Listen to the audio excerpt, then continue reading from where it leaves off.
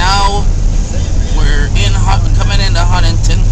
We're right up alongside whatever trailer train this is from going back to yesterday, uh, ye- yesteryear, back in the days of steam on the B&A. There was a chase scene, even featured in A&R Productions, called the Boston and Albany Railroad, and they showed a 1400 Berkshire being paced from Huntington to Chester. A lot of lots changed over the years.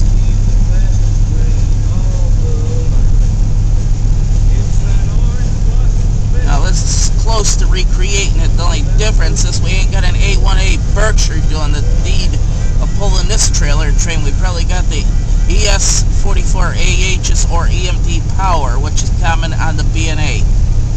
Modern day 1400 Berkshires, basically.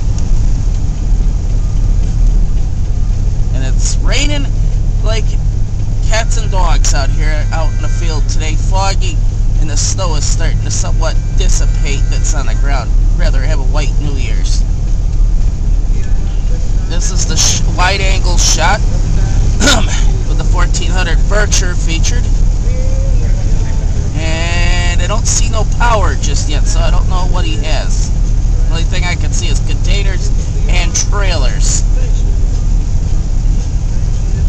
Now we'll be coming into the town of Huntington, which is going to be line for this chase scene.